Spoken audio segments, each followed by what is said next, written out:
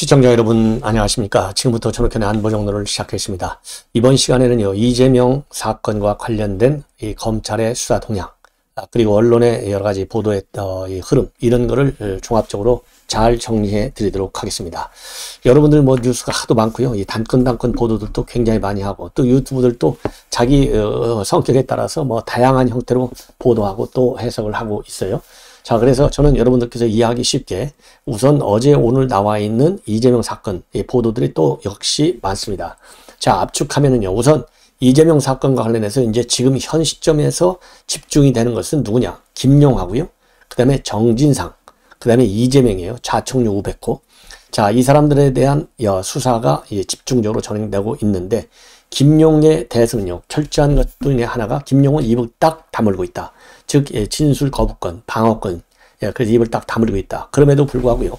검찰에서는요. 이 8일날 구속기간이 만료가 되는데 이 구속, 어, 기소 조치하는 데는 별 어려움이 없고 자신감을 보이고 있다. 그 자신감을 보이는 이유는요. 아무리 진술을 거부해도 우선 관련자들의 진술이 특히 유동규, 그 다음에 어, 이 김만배, 아 죄송합니다. 유동규하고 나무, 그 다음에 그 밑에 있는 정민용과 그 전달하는데 돈을 마련한 그 이모 회계 담당 어, 인물. 그 다음에 또이 어, 나무계 밑에 있던 다른 NSJ 홀딩스의 이사.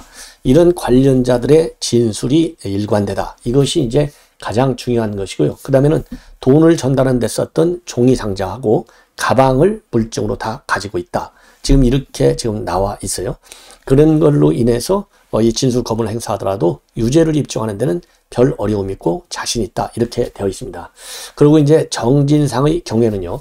이 김용과 똑같은 그런 수순에 그런 양상의 수사를 할 것이다. 그래서 1차적으로 체포영장을 발부할 것이다. 왜냐하면 소환하라고 하면 소환 안 하니까. 그래서 체포영장을 발부하고 그리고 구속영장을 청구해서 조사하는 수순. 그래서 김용하고 똑같은 그런 절차로 이 정진상이를 의법 처리할 것이다. 이러한 전망이 나오고 있어요.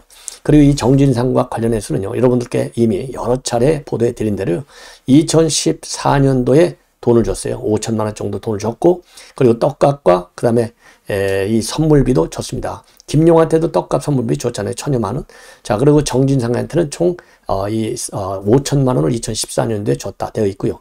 그리고 어제부터 새로 나오는 내용은 정진상한테 2020년도에 유동규가 또다시 4천만 원을 줬다. 예, 이렇게 지금 되어 있습니다. 자, 그래서 2020년도에 준 돈의 성격은 이 나무위가 이것도 돈을 마련해서 준 건데 나무위가 남양주에 있는 예, 양정 역세권 개발 사업을 노리고 이 사업의 특혜를 받기 위해서 대장동 우일에서 특혜 받았잖아요. 그런 것처럼 똑같은 수법으로 이제 정진상이가 실세니까 돈을 집어넣은 거예요. 그래서 정진상은 지금 이제 이 김용의 경우에는 정치자금법을 우선적으로 적용하고 그리고 정진상은 이거는 뇌물로 건다 이렇게 지금 되어 있습니다. 자 그러는 과정에 이제 어제 나와 있는 것이 어제 이제 재판이 열렸는데 이 재판에서 정영하이가 드디어 입을 열기 시작했어요. 이 정영하이가 입을 열어가지고 그동안에 이제 도원 결의를 했다. 그래서 김만배, 유동규, 그 다음에 김용, 정지사. 그러니까 이제 이재명 측에서는 김용과 정진상. 그 다음에 이제 민간업자 측에서는 김만배. 그 다음에 도계공층에서는 유동규. 이 네 명이 형제 결혼을 한 거예요. 그런데 이제 그동안에 1년여간 예, 구속되어서 감옥 생활을 하다 보니까 유동규가 열받는 거예요. 아, 이 세계는 의리를 지키면 나만 손해구나. 어, 너희들 당해봐.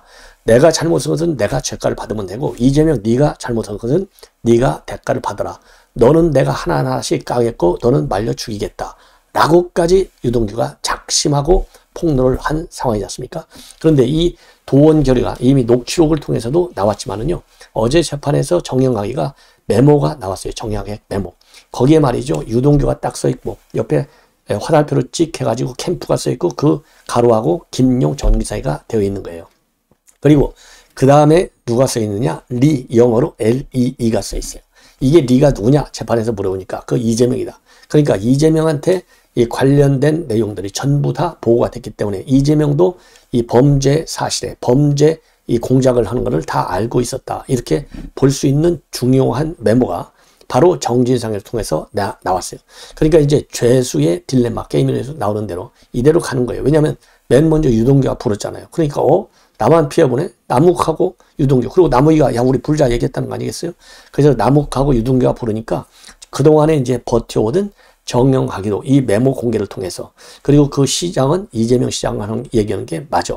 그러면서 이재명의 개입을 갖다가 이제 이런 예, 물증을 통해서까지도 보여주는 그래서 이제 남욱 그다음에 유동규 그리고 이제는 정영학까지 어, 이 폭로 전선으로 나오고 있다. 그래서 이제 남아 있는 게 이제 최종적으로 제가 남아 있는 게 정영학과 김만배인데 김만배는 교모하게 교모하게 뭐 죽은 사람들한테는 죽은 사람 거는 이미 이제 공소권이 없으니까 지실대로 얘기하고 또 공소시효가 지난 것 중에서는 공소시효가 지났으니까 또 얘기하고 또 중요 대목에 대해서는 검찰을 이리저리 이 말, 말을 바꾸면서 이 법망을 피해 나가는 이런 교묘한 작전은 김만배가 아직도 하고 있지만 이 도원 결의한 4명 중에 3명 정도는 벌써 이제 이실 짓고 폭로 전수로 나오고 있다. 지금 이런 상황까지 와 있어요.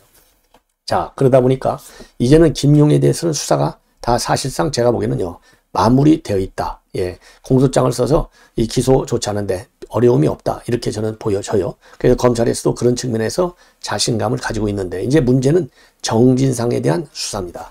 그래서 이 정진상에 대한 이 수사와 관련해서 지금 이제 보도 나오는 내용을 보면요.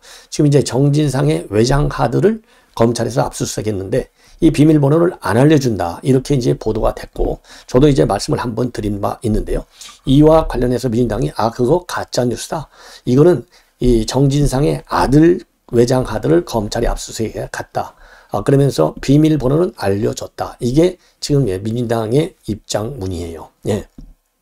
그래서 지금 언론에서 비밀번호를 안 알려줬다. 이거는 거짓말이다. 라고 지금 민주당에서는 반박을 하고 있어요. 그래서 민주당이 공보국, 공보국 내용을 보면요. 정진상 실장이 검찰이 압수한 자신의 외장하드 비밀번호를 제출하지 않고 있다는 보도는 명백히 사실과 다르다. 검찰이 압수한 외장하드는 정 실장 아들의 것이다. 이는 검찰이 포렌식으로 확인했고 이 악의적으로 지금 내용을 검찰이 왜곡하고 있다. 그리고요, 외장하드가 애플 전용 제품이라 압수수색 현장에서 포렌식이 불가해서 검찰은 우선 물품을 압수했고 이후에 정 실장 측의 입회하에 입회하에 포렌식을 실시했는데 그 결과 정 실장 아들 걸로 밝혀졌고 양측 모두 이를 확인했다. 그러면서 이 외장 하드가 정 실장이라는 그런 주장도 또 비밀번호를 숨겼다는 어, 이 내용도 모두 사실이 아니고 수사에 협조하지 않고 자료 제출을 거부하는 것처럼 보이도록 하려는 검찰의 꼬수다. 피의 사실을 무차별적으로 공표하는 검찰의 행위에 대해서 깊은 유감을 표한다. 이렇게 입장을 발표했습니다. 이렇게 되니까요. 이거 수원지검 상남지청에서 지금 수사하고 있는데 이 민주당 주장과 관련해서 공지를 했어요. 뭐냐? 수사 중인 상황이기 때문에 상세히 얘기할 수는 없으나 정 실장 주거지에서 압수한 외장 하드 포렌식 과정에서 암호가 걸려있는 사실이 확인되었고 포렌식 절차에 참여한 변호인에게도 비밀번호 제공 의사를 확인했는데 거부해서 비밀번호 해제에 지금 많은 시간이 소요되고 있고 현재까지 파일 내용을 확인하지 못하고 있다. 그리고요. 지금 민주당 얘기한 대로 정실장의 아들 거라고 주장하고 있는 이 노트북은 압수수색 현장에서 별도로 압수한 바 없다. 그러니까 아예 압수도 안 했어요. 그러면서 검찰에서는 피의 사실을 알린다도 없고 사실과 다른 일방의 이러한 주장에 대해서는 진상을 확인 후 보도해 달라. 예. 그리고 검찰 관계자는요, 이 조선닷컴하고의 통화에서요, 외장하드가 정치적 것이 맞느냐, 이렇게 물어보니까 공지 내용대로만 이해해달라. 수사 중인 사안이기 때문에 더 이상의 답변은 어렵다. 이 얘기는 결국 뭡니까? 아니, 검찰이 거짓말하겠어요? 만약에 검찰이 거짓말하면 지금 민주당한테 남아날 수가 있겠습니까? 그래서 민주당은 그러고 본래 거짓말 잘하잖아요. 특히 이재명과 관련된 것은 이거 어차피 이재명 측 확인을 받아야 될 거 아니에요. 이것도 거짓말이다. 그래서 이재명은 입만 열면 거짓말 제조기처럼 작동하고 있는 게 아니냐 이렇게 판단을 하지 않을 수가 없어요.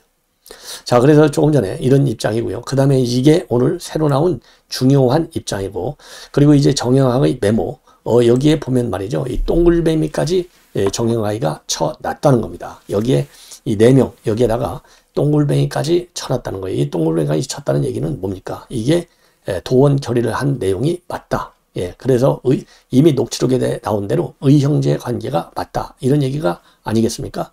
자, 그래서 말이죠. 이 녹취록에 나와 있는, 어, 이 녹취록은요, 그러니까 2013년도 7월 2일 날 남욱하고 정영하기가 나는 녹취록에 이렇게, 어, 유동규, 어, 그 다음에 화살표, 그리고 어, 캠프 어, 어, 거기에 예, 김용하고 정진사 그 다음 화살표에 리 영어로 이게 나와 있고 자 그리고요 이게는 이제 2013년도 7월달 녹취록이고요 그 다음에 2014년도 2014년도 6월 녹취록에 따르면은 아까 말씀드린 대로 이 네 명이 의형제를 맺었으면 좋겠다.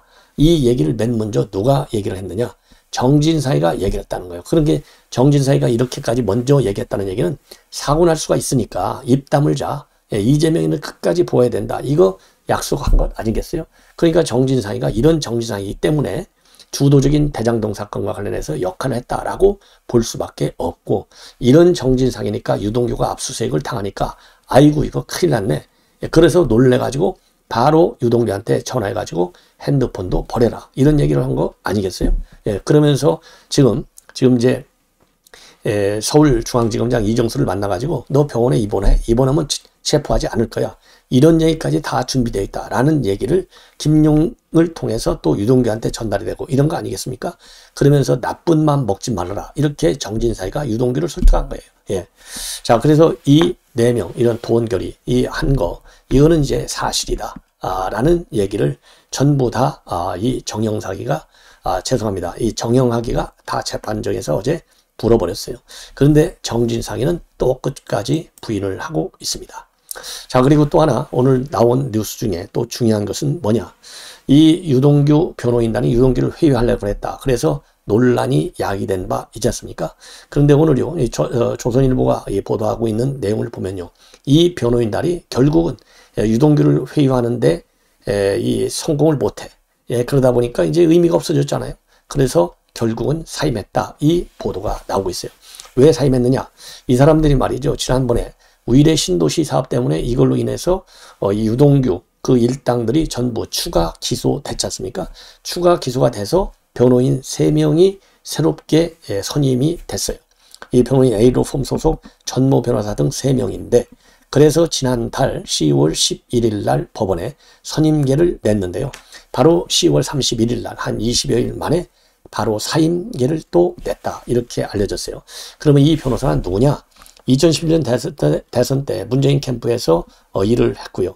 그리고 문재인 청와대에서 민정수석실에서 2년 정도 행정관으로 일한 바 있는 민주당 쪽 인사로 알려졌습니다. 자, 그런데 이거 왜 그러면 선임을 했느냐? 바로 그겁니다. 우이대 신도시 사업을 변호를 맡아서 지금 핵심은 우이대 신도시보다도 대장동 사건에 대한 수사잖아요. 그 대장동 사건에 대한 수사를 하면서 유동규가 어떤 얘기를 하는지 그리고 거기에 어떤 법률적 성격을 가지고 있는지 또 유동규가 정진상이가 말한 대로 안 좋은 얘기 하지 마 이런 얘기 했는데 또 안 좋은 얘기 할 가능성이 있으니까 그거를 좀, 좀 회의주하고 이러려고 선임을 하고 또 이거를 맡았는데 지금 이거 이 변호사들이 유동규한테 내가 대장동 사건도 좀 선임 해달라 하게 해달라 맡게 해달라 이렇게 했는데 유동규가 안 들어주는 거예요 왜 유동규는 이제 요즘 작전을 바꿨잖아요 폭로 전술로 그러니까 아니 대장동 사건을 맡아야 수시로 만나갖고 왜냐하면 우일의 신도시보다도 대장동 사건이 훨씬 더 크잖아요. 그래서 대장동과 관련해서 유동규를 해야 되는데 대장동 변호권을 안 주니까 의미가 없는 거죠. 돈만 들어가는 막말로. 그러니까 자기네 목적 달성에 안 되는 거예요. 그래서 결국은 사임한 것이 아니냐 이렇게 예, 추론이 됩니다. 무려 말이죠. 이 전 변호사는 우일의 사건을 맡기로도 했지만 지난달 14일, 17일, 18일 세 차례에 걸쳐서 유동규한테 수사가 진행 중인 대장수사관에 대한 변호도 맡게 해달라 이렇게 얘기를 했어요. 그래서 실시간으로 실제로 이제 조사에 입회하고 대장동 사건이 수임이 되면 거기서 수사 상황도 정확하게 파악할 수 있는 것 아니겠습니까? 그래서 유동규를 회의해가지고 대선 자금 수수 사건을 좀 막아보려고 그런 의도를 가지고 있었다. 이런 의혹이 제기됐는데 이게 안 되니까 결국은 잘려 나간 거다. 이렇게 판단이 됩니다. 자, 그래서 이 사임한 사람이 꼭 이 사람만 있는 게 아니고요. 작년 10월에도 유동규가 대종당역으로 구속 영장 실질 심사를 받기 전에 추가 선임된 김 변호사가 있었는데요. 이 사람도 지난달 27일 날 사임했다는 겁니다. 그런데 이 김 변호사가 소속된 로펌은요. 이원욱 이원욱 저 그러니까 경기주택도시공사 이재명 아파트 바로 옆에다가 사무실 된 아, 사람이죠. 그 사람 대표를 맡았던 그 로펌의 변호사인데 그러니까 이, 어, 이재명과 관련된 변호 이 로펌에서 거의 다 맡았는데 그래서 이제 대장동 사건 수사 관련 동향 이런 거를 좀 파악하려다가 안 되니까 결국은 사형을 했다. 아, 이렇게 결론을 낼 수밖에 없는 것 같습니다. 자, 이래서요. 대장동과 우유래 사건 이런 거에 대해서 지금 새롭게 보도되고 있는 내용들을 말씀을 드렸고요. 그리고 이제 어제 나왔던 것 중에 하나는 쌍방울 의혹과 관련해서 아태엽 회장이 체포영장을 발부받아서 신병 확보에 나섰다라는 보도도 있고요. 그리고 조금 전에 말씀을 드린 데도 정진상이가 9천만 원을 2020년도에 추가적으로 어, 이 4천만 원을 받아갖고 총 5천만 원의 금품 수사, 아, 금품 수수 이 문제가 지금 집중적인 에, 수사 대상이 되고 있다. 그래서 지금 이제 검찰에서는요 정진상에 대해서는 뇌물수수 피의자로 정식 입건해서 수사할 계획인 것으로 그렇게 알려지고 있습니다. 자, 이제 마지막으로요. 한 건만 더 보태면요. 지금 언론에 이런 보도들이 조금씩 나오고 있어요. 지금 이재명이가, 이재명이가 아까도 말씀드린 대로 태장성 사건과 이 관련해서 지금 여러 가지 지금 수사가 갈래로 진행되고 있는데 지금 대장동 사건에 관해서는요. 검찰 내 분위기는 일단은 김용과 정진상이만 사법 처리하고 이재명은 시간을 갖고 다룬다. 시간과의 싸움이 시작된다. 왜? 이게 당 대표이기 때문에 어설프게 수사할 수는 없다는 거죠. 확고한 물적 증거를 갖고 있지 않는 한 소환 수사가 사실상 좀 어려운 것이 아니냐. 요렇게 검찰 내 분위기가 좀 달라지고 있다고 합니다. 자, 그렇다고 한다면 지금 남아있는 게, 어, 어, 대선, 자, 어, 이 허위 사실 유포, 요거가 지금 재판이 진행되고 있고요. 그 다음에 중요한 것이 이제 변호사비 대납, 그 다음에 성남 풋볼 후원금 사건인데 지금 변호사비 대납도 상당히 지금 어려운 국면에 처해 있다. 왜냐면은 마지막으로 김성태가 들어와야 되는데 안 두고 안 들어오고 버티고 있는 거예요. 그래서 상당한 진전을 내 보이기는 사실상 어려운 것이 아니냐. 이런 전망이 나오고 있고요. 그래서 변호사비 대납이라든가 대장동 사건보다도 현실적으로 현 시점에서 더 이재명에게 치명적 사건은 성남 풋볼 사건이다. 이렇게 지금 검찰에서는 보고 있다, 는 겁니다. 그래서 성남 풋볼 사건에 굉장히 역량을 집중하고 있다. 이런 보도가 나오고 있어요. 자, 그 다음에 하나는요. 이 대장동 사건의 사실상의 단초가 된 것이 여러분들 기억나시겠죠? 작년 어, 4월 달에 이 FIU, 즉 금융정보분석원에서 이 거액의 자금, 수십억, 어, 또 수백억, 이 자금이 예, 왔다 갔다 하는 이상한 자금의 흐름을 FIU에서 발각을, 발견을 했어요. 그래서 작년 4월에, 작년 4월에 이 경, 어, 이 FIU에서 경찰에 이 관련, 이 자, 이상한 어, 이 자금의 흐름을 좀 수사해 달라. 그래서 자료 통보를 하고 어, 어, 수사를 요청했는데 이것이 말이죠. 이제 경찰에 넘어가서 어, 이 경찰청에서 결국은 서울청을 거쳐서 어디로 갔느냐? 용산 경찰서, 요즘 사고가 난 용산 결장서로 갔어요. 근데 용산 결장서에서 이 김호수 검찰이 했던 게 뭐예요? 깔아 뭉개기. 그래서 증거인멸의 시간을 주기. 이게 검찰 수사의 특징이 있지 않습니까? 그런 것처럼 작년에 용산 경찰서에서 다섯 달 동안을 깔아 뭉갰어요. 예, 깔아 뭉갰어요. 그래서 이 다섯 달 동안 사실상 수사가 제대로 안 된 거예요. 그래서 용산 경찰서에서 겨우 한 게 김만배. 왜냐면 그 당시 이제 김만배 이게 화천대유 사실상의 주인공이잖아요. 그런데 그 당시 이성문이라는 성대 동문이 화천대유 1호, 어, 화천대유 1호의 대표로 되어 있었어요. 그런데 재무제표를 보면요. 김만배가 어, 작년에 화천대유에서 그 당시에 말이죠. 473억 원이나 빌려갔는데도 안 갚았어요. 그러다가 2019년도 또 26억 8천만 원을 회사에서 빌렸는데 이거는 또 갚아요. 그러다가 2020년도에는 또 다른 경영진이 또 12억을 다시 또 빌려가는 겁니다. 자 이러다 보니까 이 자금이 수상하다. 그래서 FIU가 어, 수사를 의뢰했는데 용산 결창서에서 이거를 수사를 제대로 안 한 거예요. 그럼 왜 이걸 용산 경찰서로 배당을 했느냐?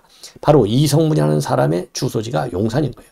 그래서 용산서로 넘겼는데 여기에서는 김만배는 딱 한 번밖에 부르지 않고 이성문이도 딱 한 번밖에 부르지 않아요. 그러다가 이게 이제 수사가 아, 좀 이상해지고 이게 이제 작년 4월 얘기 아니에요. 그러다가 이제 8월에 어, 이 경기 경제신문에서 이거를 보도하면서 이제 전국적인 큰 이슈로 되기 시작하는 거예요. 그러면서 이제 대장동 사태가 불거지고 경찰에 검찰에서 수사가 나고 이러니까 이제 경찰에서도 놀래가지고 이 이재명 사건이 경기 남부경찰청에서 전반적으로 다 수사를 하고 있어요. 경찰은. 그러니까 경기 남부경찰서로 넘겨주고 그리고 용산서에서는 이제 사실상 수사 능력이 미진한 거 아니에요? 그런데 그 당시에 용산서 사건이 너무 많아서 예, 남부경찰서로 넘긴다. 이렇게 핑계를 대고 경기 남부경찰청으로 넘어가는 겁니다. 그 사이에 경찰 예, 용산청은 수사를 저 안 한 것이죠. 자, 그러면 어떻게 해서 수사를 안 하게 됐는지 그리고 경찰 내부는 어떻게 됐는지 이번에 에, 이태원 참사 사건하고 똑같아요. 이태원 참사 사건의 핵심이 뭡니까? 지휘 보고 체계가 엉터리 나는 거. 그리고 지휘, 어, 지휘를 제대로 하지 않았다는 거. 깔아 뭉개려고 했다는 거. 그렇잖아요. 112, 11건, 112 신고 11건이 나왔는데 다 깔아 뭉개려고 했지 않습니까? 그런 똑같은 판막이 이 경찰 처리가 바로 작년에 FIU의 이 수사 의뢰, 이 사건이 일어나, 어, 된 거예요. 자, 그래서 이거는 그러면 경찰청에서 깔아 뭉갰다는 것을 어떻게 알게 됐느냐? 작년 9월 달에 국감에서 이 경찰청장하고 서울청장이 발언한 걸 보면 깔아 뭉갠 거라고 볼 수밖에 없고요. 작년 이, 그, 그 당시에도 이건 깔아두겠다. 전형적인 늑장, 늑장 사건 처리다. 이런 지, 어, 지적 언론에서 많이 제기된 바 있어요.